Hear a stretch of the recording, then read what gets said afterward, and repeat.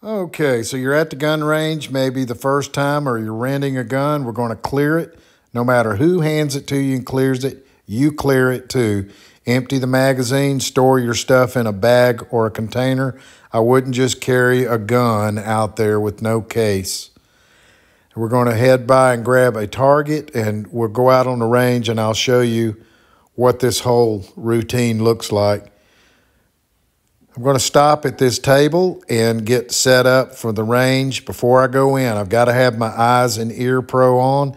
I'm not going to lay a raw gun on the table pointing at somebody. I'm going to put my eyes on first, the glasses, and then the ear muffs.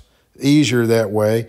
And then we'll head in. Now, you'll note these guys are going to make a mistake.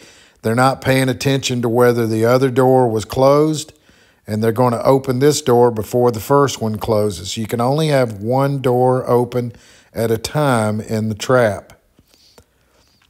Okay, so first thing I'll do is I'll set my bag or container down, but I'm going to orient it with the muzzle pointed downrange. Very important. And I'm not going to carry guns back and forth. One thing that works out pretty good is folding some of these paper targets it makes it easier to get them into the clamp. I'm going to send it out to five yards or 15 feet. I can also manually specify distance. I'm going to clear the gun again and lay it down in that recess so it won't fall off or spin around. And then I've got my magazine. Now I'll store my bag or container, but I'm not, again, not going to carry guns back and forth. I'm going to do all of that up at the lane. Okay. So I'm going to load my magazine and get my gun and my magazine, my ammo oriented, set up my workspace. I'm going to have it oriented just like I would draw it off of my belt or holster. Now, before we get started, sight alignment is alignment of the front and rear sights. But then sight picture is how that relates to the entire target. I'm also going to pick the gun up with my finger not in the trigger guard, up on that frame. Okay? I also don't want to ever point the muzzle far right, far left, up or down. I want to keep it in this safe zone, and I don't want to ever relax the arm and let it swing down at the floor or toward my feet. Another common mistake is to allow the gun to follow your eyes, especially if you get some hot burning brass on your neck, don't turn around and don't rack or clear your gun with it pointed toward the rear.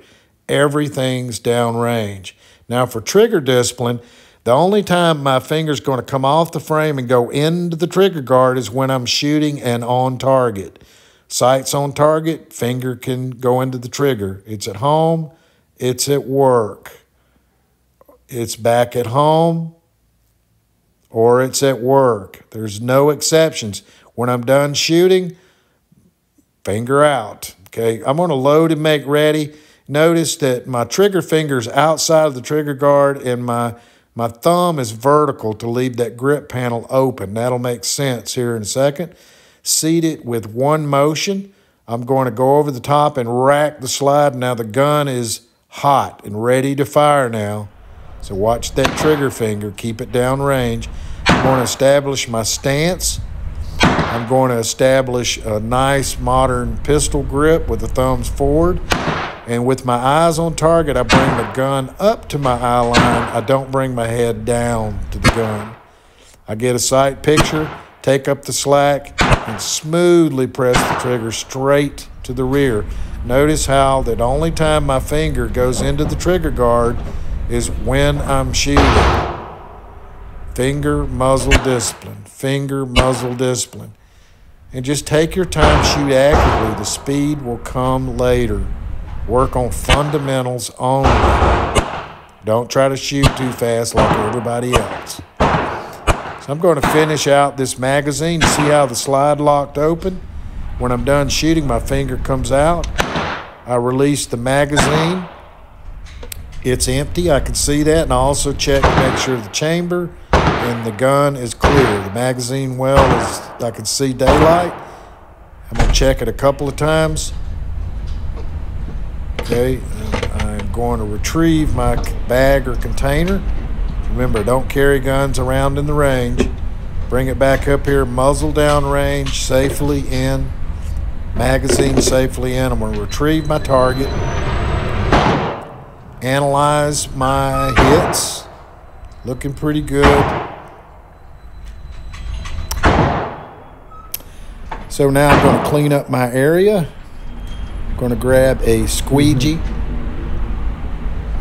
and push the brass out of the way, clean all the brass off the little shelf area there.